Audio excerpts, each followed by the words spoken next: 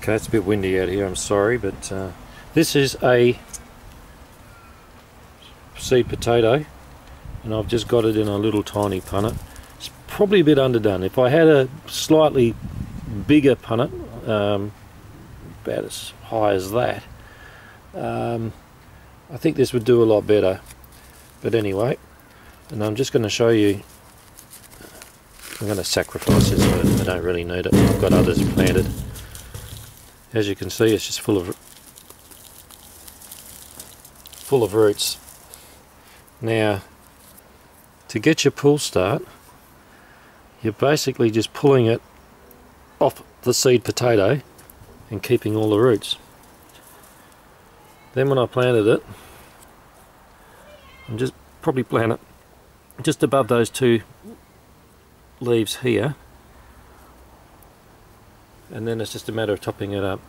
When I planted my other ones they were probably about oh, probably about this high so this has probably gone a bit too long but it was all an experiment so I'm not perturbed about it and with the seed potato you could probably put that back in back in a soil mix. Is just a sterile mix. I just put some, um, I think it was just some seed raising mix that was sterile. And there's still more eyes on here. So, you know, these, these things will sprout some more. So, you know, you won't waste it.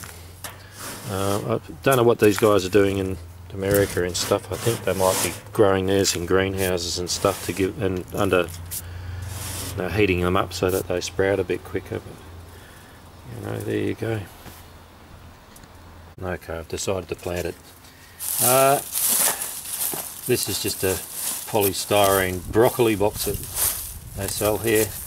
Loads of roots in here because we've got an olive tree over here and they're probably inside, but you get that. Anyway, uh, it's reasonably moist. Soil was just crap potting mix from way back. So doesn't matter if it works, it works. If it doesn't, it doesn't. I think I had some Veltheimia bulbs in here. So this is just quarter of a cup of what they call Seamungus here. It's just a mixture of blood and bone, fish meal, uh, kelp, you name it, it's in there.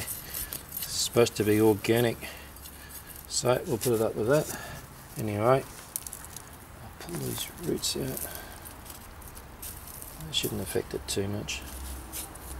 Okay, I'm just going to sink that down. I'm just to cover those